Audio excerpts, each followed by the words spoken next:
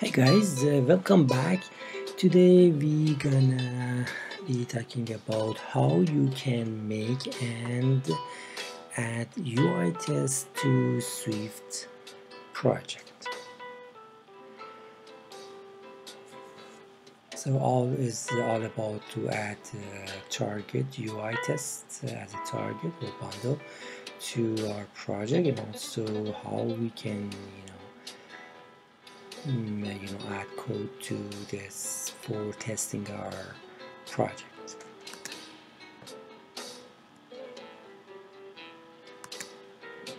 Okay, let's start a new project. So what we do we create a new project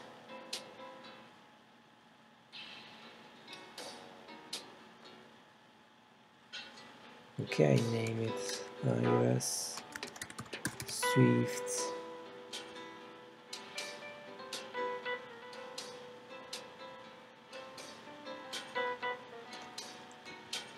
UI test sample. But uh, make sure to check mark include UI test. Even if you forgot later we can add it. I'll tell you what you're gonna do okay so we make this one in final iOS Swift. Give me warning because already it uh, exists and we're gonna replace it. Yeah with brand new. If the, the, you don't have this project it's gonna create it okay? So let's first of all uh, we make our uh, UI or user interface. Uh, actually our project gonna be one table and uh, this table. Will show one table view and then you know we calculate how many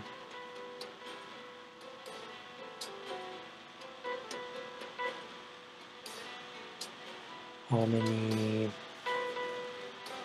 row we have and if it's wrong we can test it let's know how many row we have in the beginning or after okay so uh, also I add a button just under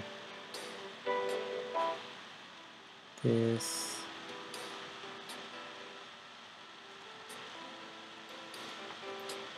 Okay let me make this button a little bit more customized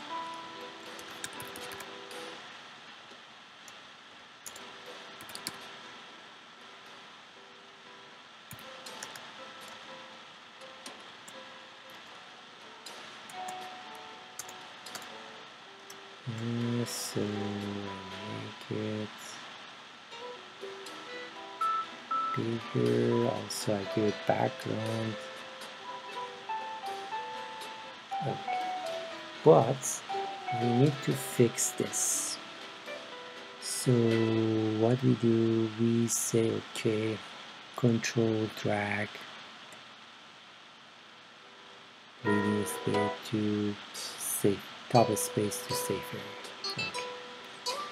And also this one control drag down button space to save it. Okay so the rest is uh, we just check uh, our table view and we just say from top 0 from both sides 16 and 8 between the know, with button and also for button. What we do we say okay constraint 8 16 16 okay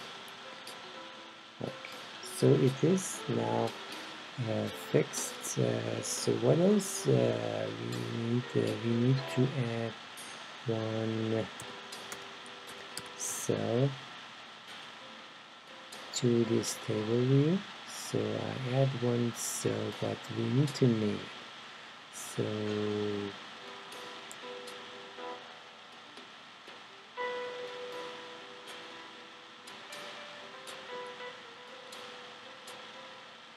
identifier I name it.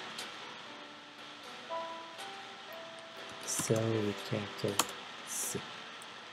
Okay so now what we do we need to connect these items to our control view. So first of all we connect table. So control drag and rename it table. We don't want to change the text of so I just add the function for this. So control drag from start inside our class before it closed so we say action UI button and we say start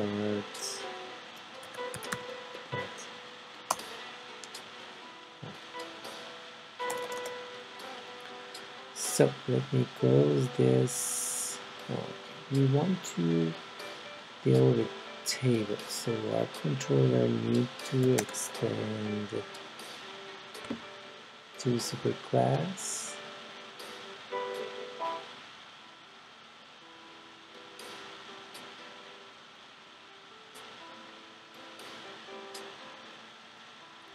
UI table view data source and UI table view delegate okay. So as soon as we did this we need to we need to call this. So um, what we say is okay table dot delegate equal self also we say table dot data source equal self.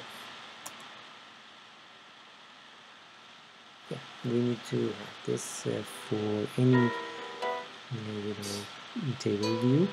Also, there is other option. Instead of writing this code, you can drag from control to table view, this blue button and uh, check mark this. It's gonna do the same, but I advise do it with the command. Anytime you can find it and you don't need to go to Xcode to make sure that uh,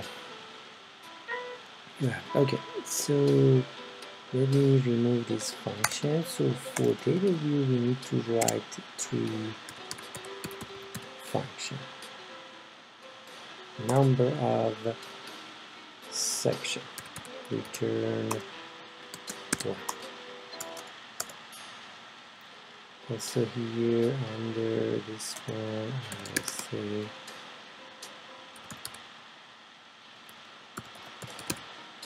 number equals z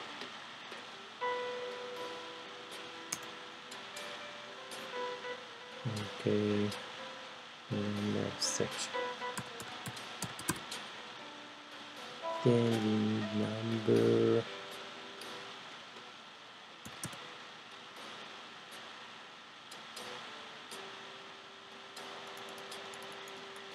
okay so the second function. Will be number row section okay so this one return. Row number. Okay. Okay the last function which is the most important one we want to say cell for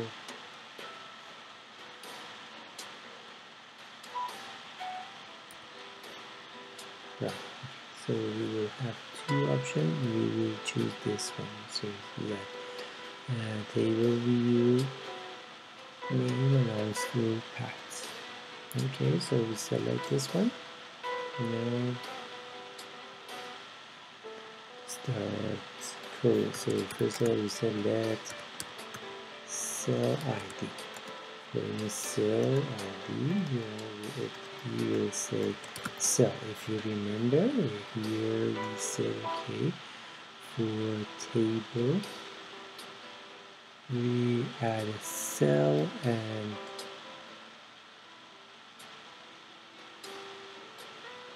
here in identifier we put the name of this cell. So we use same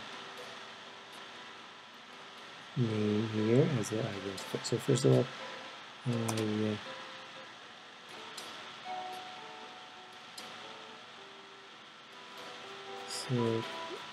cell ID equals cell with capital C okay and also I said let cell equal.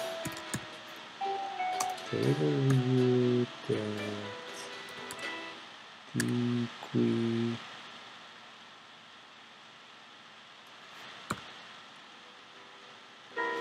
reusable with identifier.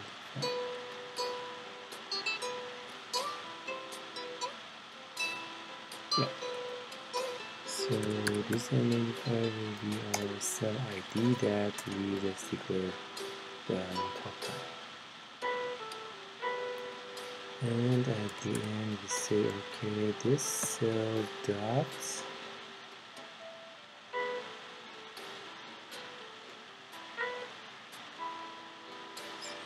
that text label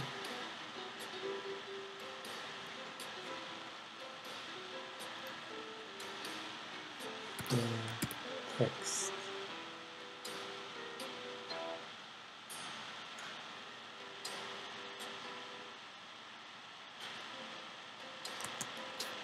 This one equal what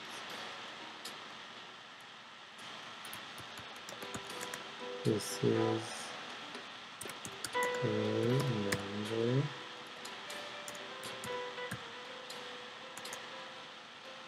and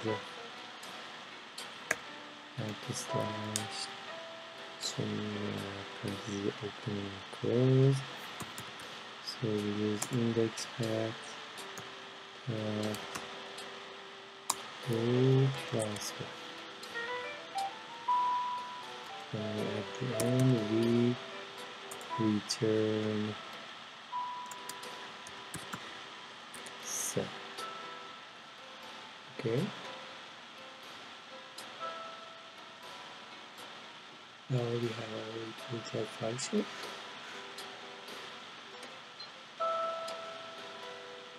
so just for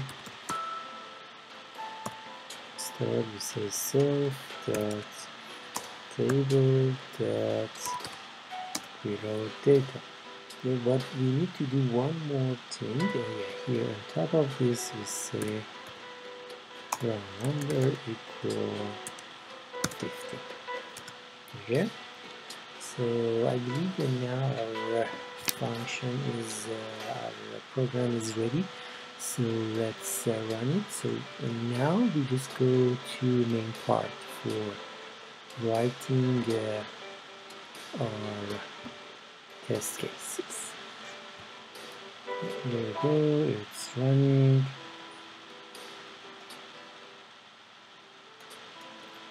Yeah this uh, blank screen is launch screen storyboard.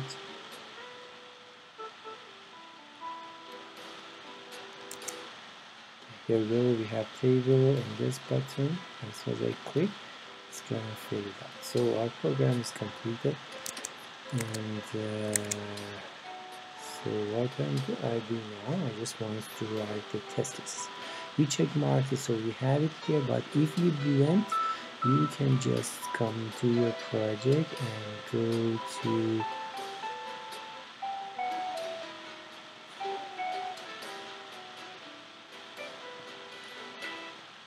file new target and here you just scroll down and you will find iOS uh, UI testing bundle. So then we click on next. But we have it so I don't. So when we doing that it make for us something like this. So now uh, I'm gonna write the test cases here here I'll say print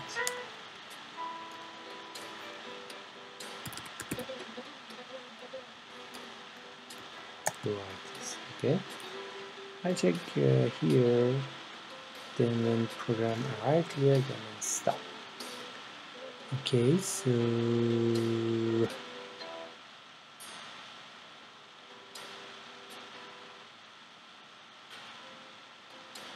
need to run program and start recording. So let me click here to start uh, testing. Also you can come to product and say test. Okay so we have to wait until program loading launching and then we can go and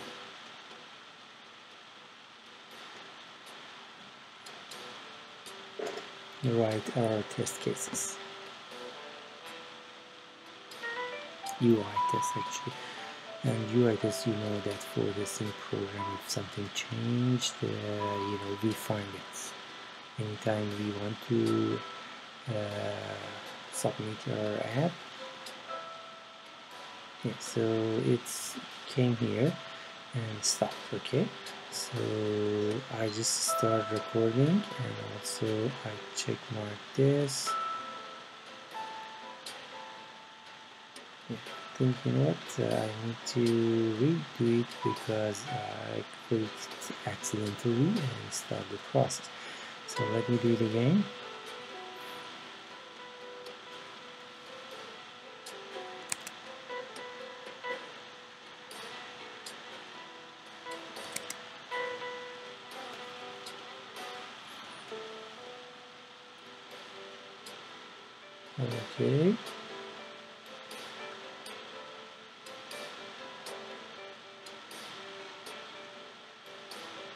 waiting to program reach this line okay yeah here so start to recording and then go ahead. So jump out. Here is uh,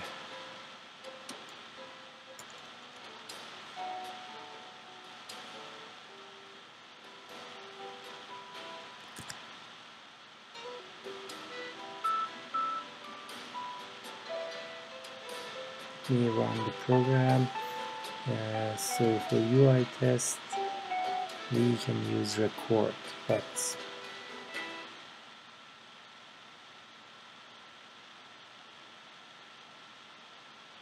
okay.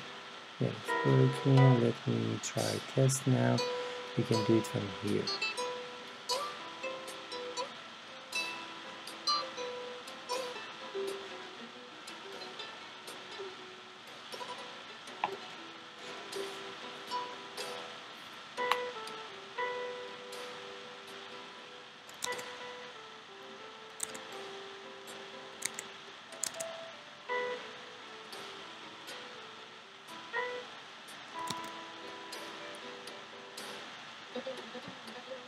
Okay, okay, okay. Yeah, it's uh, you know this is launch screen that it's blank and uh, usually a few seconds before. Okay, so we are here. I start uh, record and then I start to do tear down and up. Start filling that up, tear down and up. Then I choose seven later eight, nine, and ten. Again, I start. Okay, so now I come back to the program and stop record. So we did. Now we just need to make it a little bit customized. What I do, first of all, first line should be let's have a, also I remove this too. Uh, and then I do to check up what's that? I say x t assert equal. Okay. So app that table. How many table we have course assert is 1 yes you're right.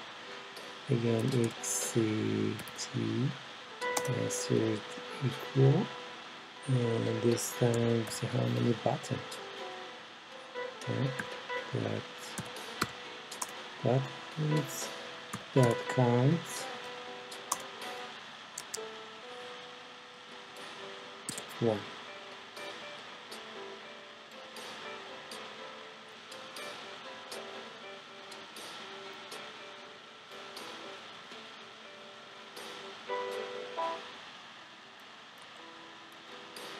here I said let's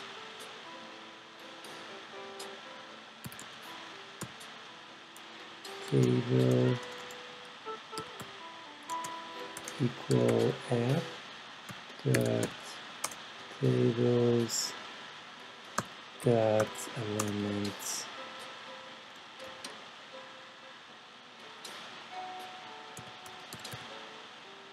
Bound by zero. Also here I count how many row our table have. So here I say table dot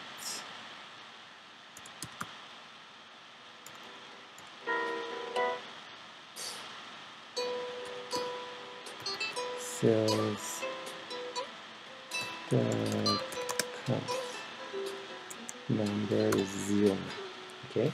So now be quick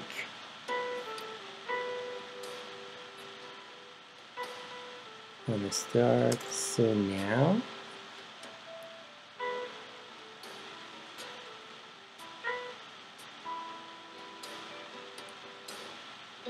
now we want to check how many tables we have.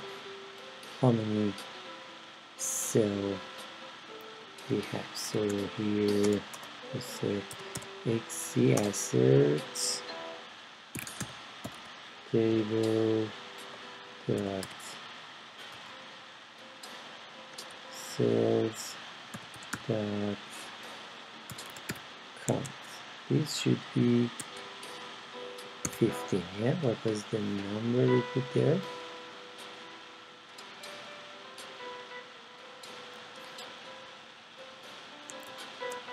and here you see what I did.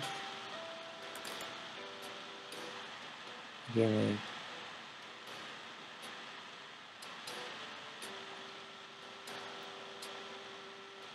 okay so you will see some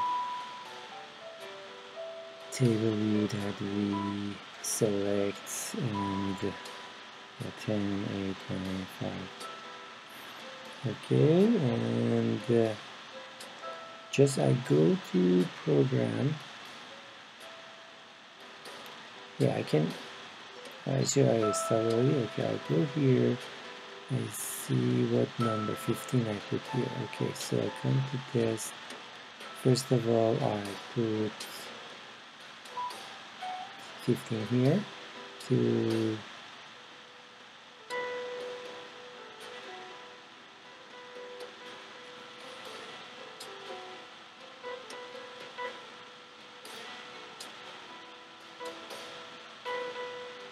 table cells dot counts okay. So I stop this and I try to run it. First of all make sure that program is working.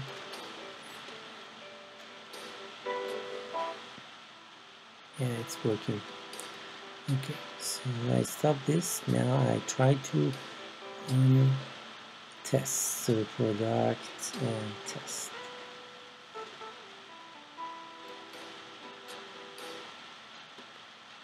here we will see. That program is going to load. A little bit with uh, test uh, you know it's gonna be slower. Here we go we have this is launch screen which is empty. You can put some logo in there for advertise. Okay so yeah you will see that what exactly I did. It's gonna test it out. Do check mark and select tables cool and here we go. Test successful. Succeed. Okay. So if yes because uh, you know we say okay it's zero we have then with 3 is gonna be 15 so let me make this 14 so again run test. This time I'm gonna get error.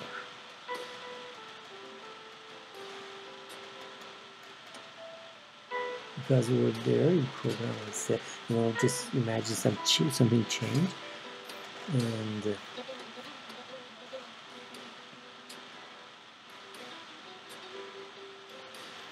we will get error right away because test catch it for us even if we you know we going as a team or a personal yeah here you go. Supposed to be 15 okay so I need this one 15 again. And uh, run code same way that was her sign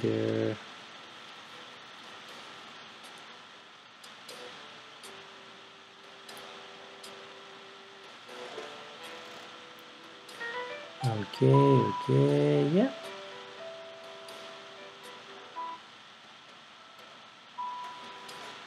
This UI test is really useful. and we need to have UI tests for our program if we work as a team, especially when as a team. Also, if you work as a, a personally, still good because after a long time you forget. So when we do some change, we can run or test UI to find out that program is working fine or not. Yeah, here we go, test succeed